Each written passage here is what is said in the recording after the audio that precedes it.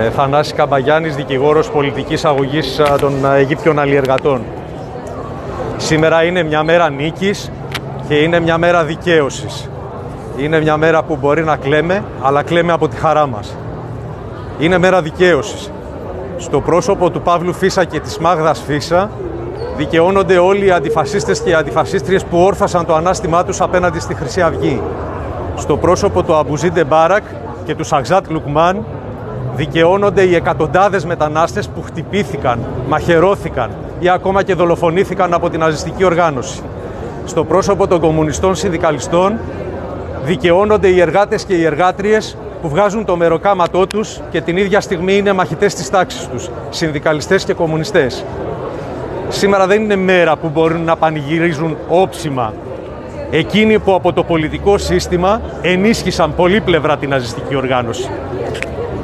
Είναι μέρα που εξακολουθούμε να ζητάμε δικαιοσύνη και ζητάμε να ξυλωθούν από τους κρατικούς μηχανισμούς όλοι εκείνοι που συνέργησαν και ενίσχυσαν στην εγκληματική δραστηριότητα της χρυσής αυγής.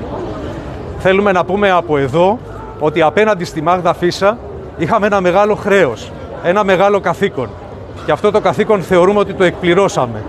Και θα πρέπει πλέον να συμπορευτούμε με αυτή την οικογένεια και με τους εντολείς μας και στο εφετείο, προκειμένου να υπερασπιστούμε αυτή την απόφαση.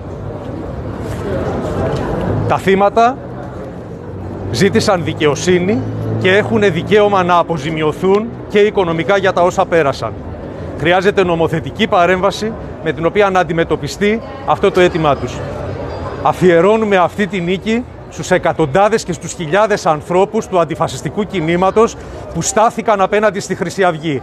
Αν δεν το είχαν κάνει, η ιστορία αυτού του τόπου θα ήταν διαφορετική. Σας ευχαριστούμε πολύ.